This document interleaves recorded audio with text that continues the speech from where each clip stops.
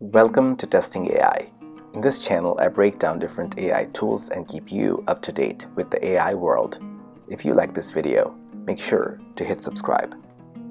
In today's video, I'm going to write some unit tests for a pre-existing piece of code.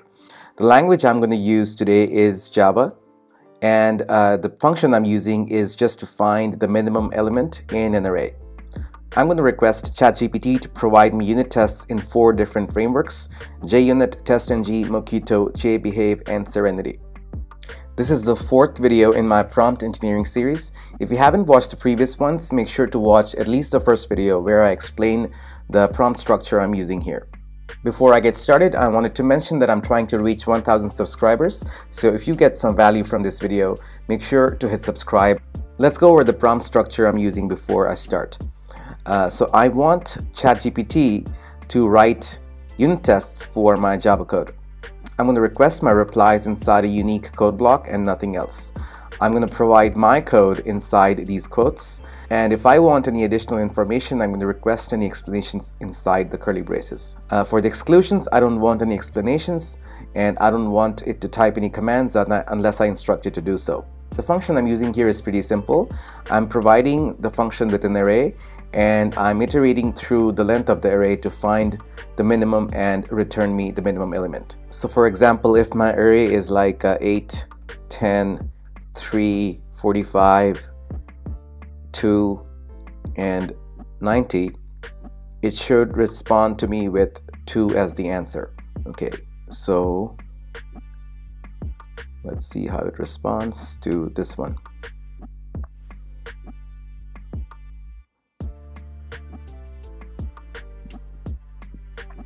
I just realized that I did not mention what framework to use for my unit test and it just went for JUnit to start off which is good. So if you're starting off with programming and you don't know how to write unit tests, uh, ChatGPT can help you construct a unit test, get all the required imports you need, and provide an example of a test and the, and the tagging structure you need to do.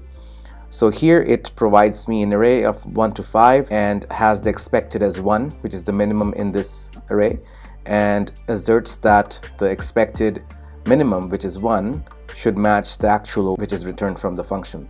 So this, uh, this looks correct. Now I'm gonna request another unit test in test ng.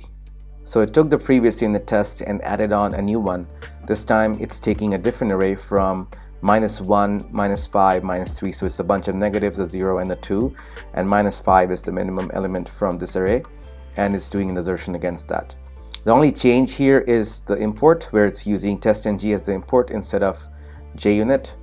Uh, the rest of the rest of the code looks pretty much the same. So I'm going to change that to Mockito. It should look different.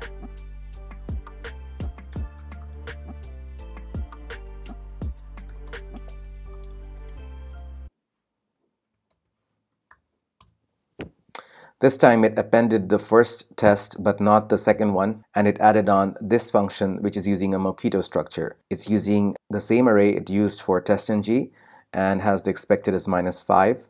The last two are new, I've never used them, so let's see how they look like. Uh, JBehave actually is not a unit testing framework. JBehave is used to write more acceptance and automated acceptance tests. It does not write tests on the function level like JUnit or TestNG. Now I'm going to try using Serenity.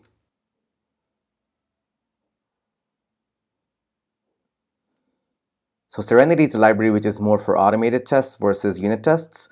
So it cannot complete the task because I requested a unit test using Serenity. So in conclusion, if you have a specific piece of code that you can provide to ChatGPT, it can respond to you with different unit tests. So overall, I think ChatGPT can be really useful to add a bunch of unit tests to your code if you don't want to do that.